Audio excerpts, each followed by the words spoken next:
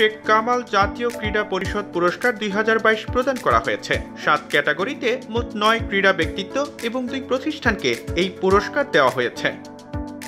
বীর মুক্তিযোদ্ধা শহীদ ক্যাপ্টেন শেখ কামালের তিয়াত্তরতম জন্মবার্ষিকী উপলক্ষে শুক্রবার রাজধানীর উসমানী স্মৃতি মিলনায়তনে যুব ও ক্রীড়া মন্ত্রণালয়ের উদ্যোগে আয়োজিত অনুষ্ঠানে প্রধানমন্ত্রী শেখ হাসিনা ভার্চুয়ালি যুক্ত হয়ে বিজয়ীদের এই পুরস্কার প্রদান করেন। জাতির কীর্তিমান তরুণ শহীদ ক্যাপ্টেন শেখ কামালের অবদানকে নতুন প্রজন্মের কাছে তুলে ধরতে ক্রীড়ার বিভিন্ন ক্ষেত্রে যুব ক্রীড়া মন্ত্রণালয় কর্তৃক গত বছর শেখ কামাল জাতীয় ক্রীড়া পরিষদ পুরস্কার প্রবর্তন করা হয়েছে।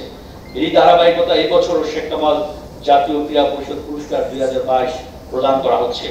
সম্মানজনক এই পুরস্কার প্রাপ্ত সবাইকে আমি আমার আন্তরিক শুভেচ্ছা ও অভিনন্দন জানাচ্ছি।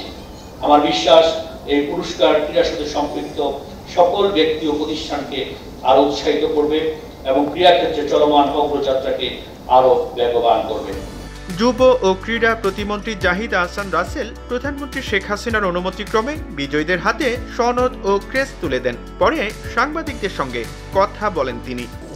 শহীদ ক্যাপ্টেন শেখ কামাল জাতীয় ক্রীড়া পরিষদ পুরস্কার আমরা ইতিমধ্যে আপনারা প্রস্তাব দিয়েছেন গতকাল সংবাদ সম্মেলনে।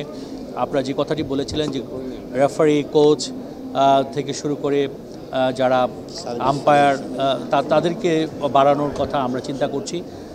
পাশাপাশি আমাদের জেলা ক্রীড়া সংস্থার প্রতিনিধি যেন, জেলা উপজেলা ক্রীড়া সংস্থার প্রতিনিধিরা যাতে এখানে মনোনীত হতে পারে, এই বিষয়টিও আমরা এখানে চিন্তাভাবনা করছি যে আগামী পুরস্কারে সেটি তাদেরকে আমরা যেন রাখব।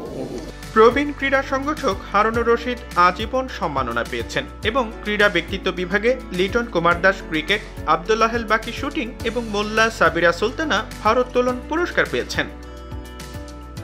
উদীয়মান ক্রীড়াবিদ হয়েছেন দুজন দিয়া সিদ্দিক তীরন্দাজি এবং মোহাম্মদ শরীফুল ইসলাম ক্রিকেট। ক্রীড়া সংগঠক ক্যাটাগরিতে পুরস্কার পেয়েছেন দুজন, সাইদুর রহমান পেটেল এবং নাজমা শামীম।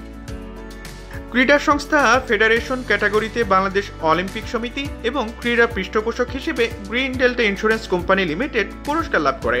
ক্রীড়া সাংবাদিক হিসেবে কাশীনাথ পোশাক পুরস্কার পেয়েছেন।